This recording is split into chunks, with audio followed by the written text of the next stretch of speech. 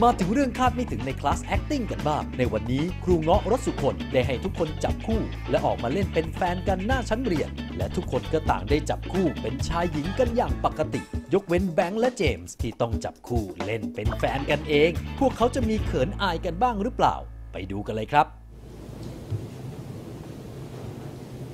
ไม่ไม่ไม่ไม่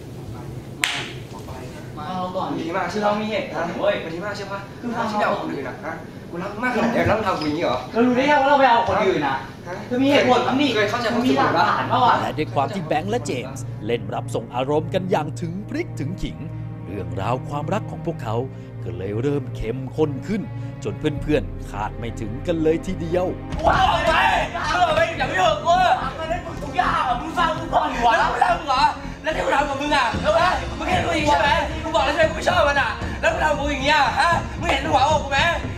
มึงเห็นหัวอกกูไหมมึงไปเลยมึงต้องไปอยู่กับกูแล้วมึงไปทำกันแล้วออไปมึงไปออกกันเลยมึงไปออกกันเลย มึงอย่าไปอยู่กับกูขอโทษกูบอกกูก่อดีกูบอกกูก่อดี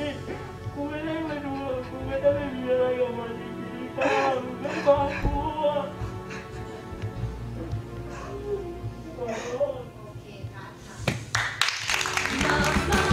แม่ฝีมือการแสดงของทั้งคู่เนี่ย เล่นดีกันจนนึกว่าเป็นแฟนกันจริง ๆ เลยนะครับเนี่ย เอ๊ะ หรือว่าจะเป็นจริง ๆ